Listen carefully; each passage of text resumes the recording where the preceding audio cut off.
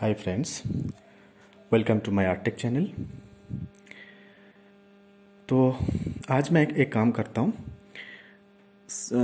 मिट्टी का बहुत सारा काम आप लोगों को दिखाया। आज थोड़ा सीमेंट का कुछ काम दिखाते ठीक है? तो ये मेरा पुराना कुछ काम है। रिसेंट ये काम ख़त्म किया।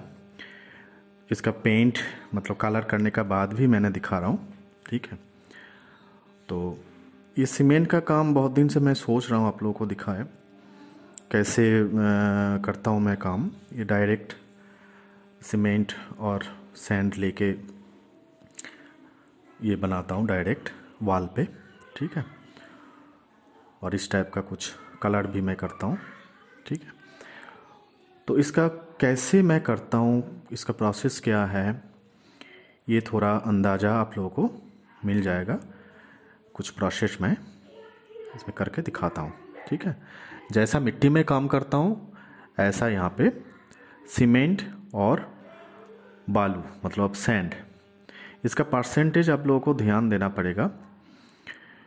कुछ डिटेल मतलब ज़्यादा डिटेल होगा तो उसमें आपको मतलब वन इज़ टू वन मतलब वन सीमेंट और वन सैंड और ज़्यादा डिटेल नहीं होगा थोड़ा बड़ा काम है दूर से देखेंगे।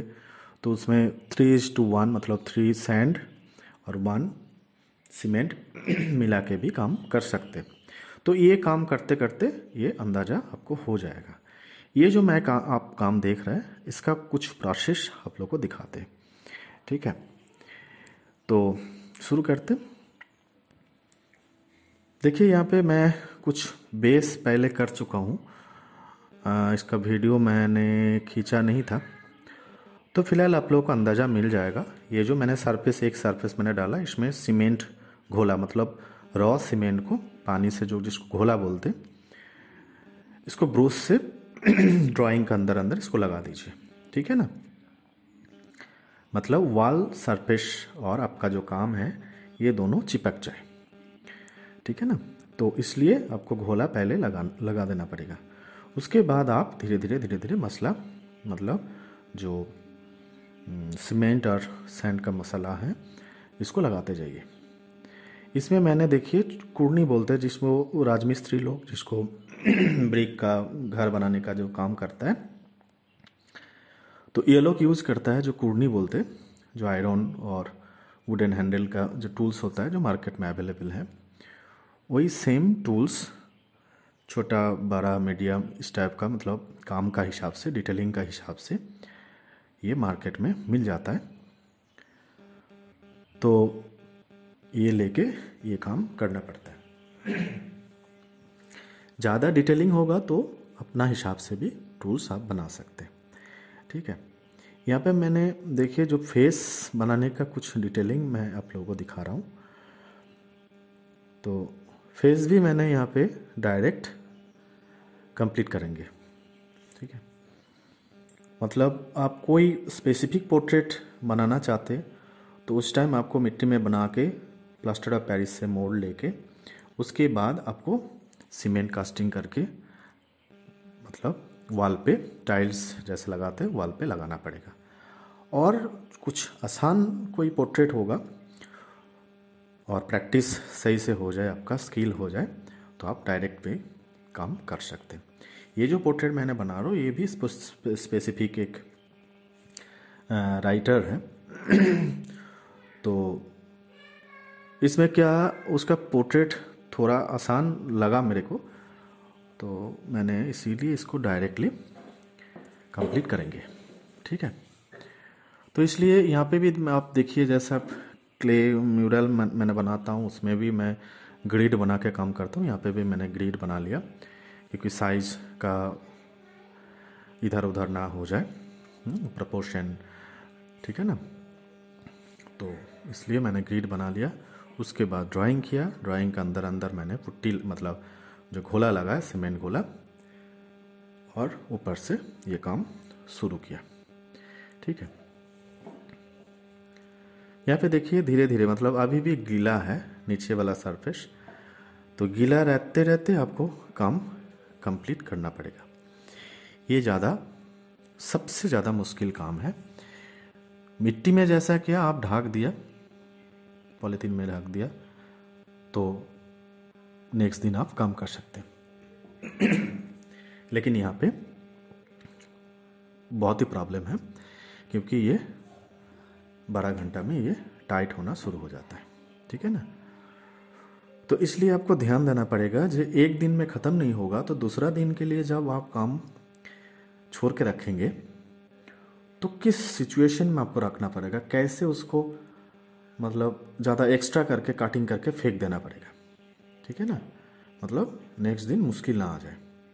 और ज़्यादा मुश्किल होगा तो उसको तोड़ना पड़ेगा। ये तो लास्ट ऑप्शन है। और जितना आप हो सके एक दिन में कंप्लीट कर सकते, ये अंदाज़ा लगा के आपको उसी हिसाब से आपको काम कंप्लीट करते करते लेकर आना पड़ेगा। ठीक है? ये सीमेंट का सबसे इंपॉर्टेंट बात है। ठीक है ना? और एक बात जो है, आप देखिए यहाँ पे, मिट्टी में जैसा कोई सरफेस गीला हो मतलब सरफेस राफ है तो उसमें स्मूथ करने के लिए आप पानी स्पॉन्ज ठीक है ना ब्रोस ये यूज़ करके मैंने दिखाया स्मूथ कर सकते हैं। लेकिन यहाँ पे करना पड़ेगा आपको मतलब 90 परसेंट आपको कुर्नी से करना पड़ेगा। उसके बाद आपको इस टाइप का झाड़ू आपको यूज़ करना पड़ेगा।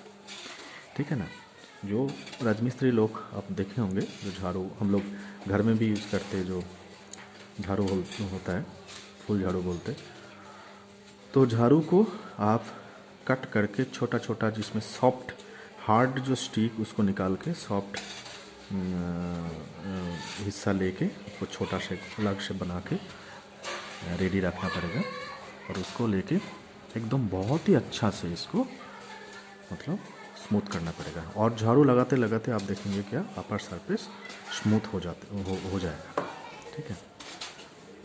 और गीला रहते रहते आपको सरफेस भी कुड़ने से स्मूथ करना पड़ेगा। ये देखिए मीडियम एक साइज़ है। ठीक है? तो चार पाँच छः टाइप का आपको ये कुड़नी मार्केट से ख़रीद के रखना पड़ेगा। एक्चुअली सीमेंट का सीमेंट में काम करने के लिए यही मेन टूल्स है ये मैं देखिए, मैंने बाएँ हाथ में ग्लव्स यूज़ किया। ग्लव्स यूज़ करने का ये है जो हाथ में मैंने सीमेंट मसाला वहीं पे रखता हूँ और वहाँ से कुन्नी कुन्नी में उठा के काम करता हूँ। ये मेरे को बहुत अच्छा लगता है। तो आप लोग ऐसे ही कर सकते राइट हैंड में मैंने यूज़ नहीं किया क्योंकि राइट हैंड में सीमेंट लगने का चांसेस नहीं है। ठीक है? और ग्लव्स पहनने का बाद टूल्स पकड़ने पकड़ने से मुश्किल भी लगता है। तो आप लोग अपना हिसाब से ये कर सकते हैं, इसमें कोई मुश्किल नहीं।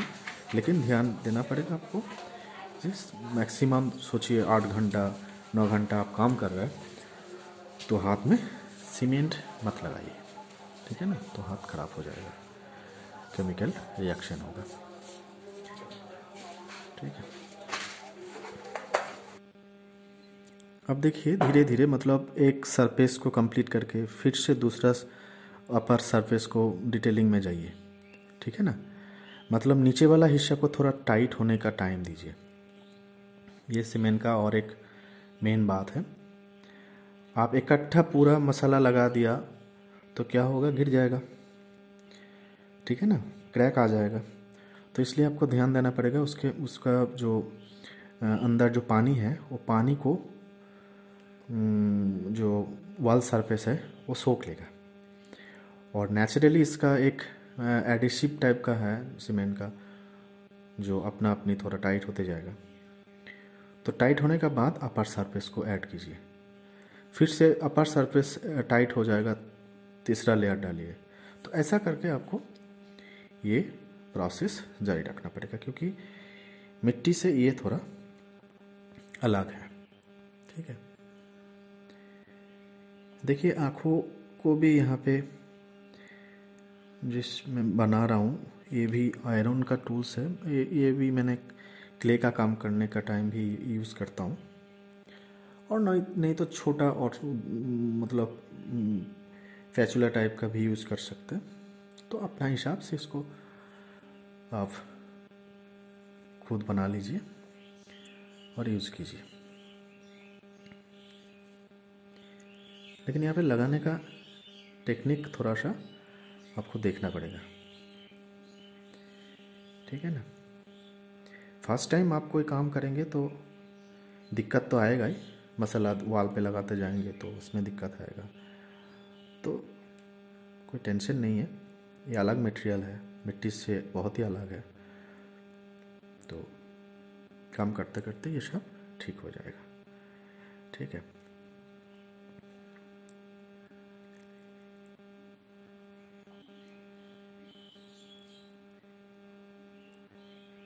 ये बालों को भी देखिए यहाँ पे। दो टाइप का हो सकता है, एक बार, एक तो हो सकता है आप पूरा के पूरा मसाला लगा दीजिए और काट कर दीजिए। और दूसरा हो सकता है आप अलग अलग लेयर को भी छोटा मतलब पैचूला लेके, कुर्नी लेके आप अलग अलग लाइन के हिसाब से भी ऐड कर सकते हैं। ठीक है ना? और जो झाड़ू है, उससे बीच बीच में मतलब गीला गीला रहेगा, पानी रहेगा, उस टाइम में भी थोड़ा सा झाड़ू लगा दीजिए। क्या होगा? सरफेस मतलब उससे थोड़ा सरफेस अच्छा रहता है। ठीक है ना?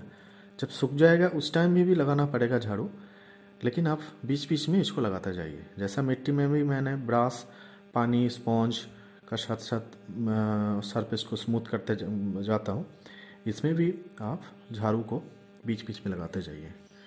ठीक है ना? देखिए लीप को भी यहाँ पे थोड़ा हार्ड हो गया। उस टाइम इसको एकदम ध्यान से कट कर दीजिए।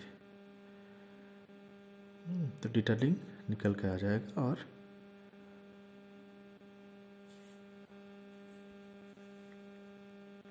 झाड़ू से बहुत ध्यान से ठीक है ना? ये गीला भी है तो ये टूटने का चांसेस रहता है। तो इस टाइम बहुत ध्यान से आपको मतलब फोर्स का हिसाब से जहाँ पे लाइन आपको दिखाई दे रहा है, उस हिसाब से आपको लगाना पड़ेगा। जब आपको लगता है जो ये फाइनल हो गया तो उस टाइम आपको एकदम जो रॉ घोला बनाए थे मतलब रॉ सीमेंट का साथ पानी मिला के इसमें बाली नहीं है मतलब सैंड नहीं है तो इसको ब्रूस से आप ऊपर से लगाइए। ठीक है? तो आपका सरफेस जो है अपर सरफेस एकदम फ़र्स्ट क्लास स्मूथ हो जाएगा। ठीक है। जितना भी राफ दिखाई देगा, ये एक्चुअली इंटीरियर और मतलब कम डिस्टेंस में आप जब देखेंगे काम को, उस टाइम ये ज़रूरी है। नहीं तो दूर से आप देखेंगे, बहुत हाइट में है जो तो उसमें ज़्यादा ज़रूरी नहीं है। जैसे आप सोचिए, मैं एक काम किया, आप 20 फीट ऊंचाई का बाद स्टार्ट हो रहा है काम, और वो काम भी पंद्रह फीट का एक फिगर है तो उसमें क्या होगा? दूर से देखेगा। तो उसमें जितना राफ होगा, उतना अच्छा है। ठीक है ना? तो उस टाइम आपको लगाने का कोई ज़रूरी नहीं है। मतलब उसके ऊपर पेंट आएगा प्राइमर आएगा तो अपना अपनी उसका सरफेस एक स्मूथनेस आ ही जाएगा। ठीक है ना? तो ऐसा करके आपको ध्यान से ये घोला लगाना है। जब लग जाएगा तो उसके बाद फिर से आपको वही झाड़ू को लगाना पड़ेगा। तो फ्रेंड इसमें मेरे हिसाब से आप लोगों को थोड़ा बहुत तो नॉलेज आएगा आप लोग प्रैक्टिस कीजिए, घर में प्रैक्टिस कीजिए। इसमें सरफेस हंड्रेड परसेंट आपको सीमेंट वाल ही रखना पड़ेगा। प्लास्टर सरफेस होना चाहिए, ठीक है? तो कमेंट में ज़रूर डालिए, कैसा लगा? ठीक है? Thank you friends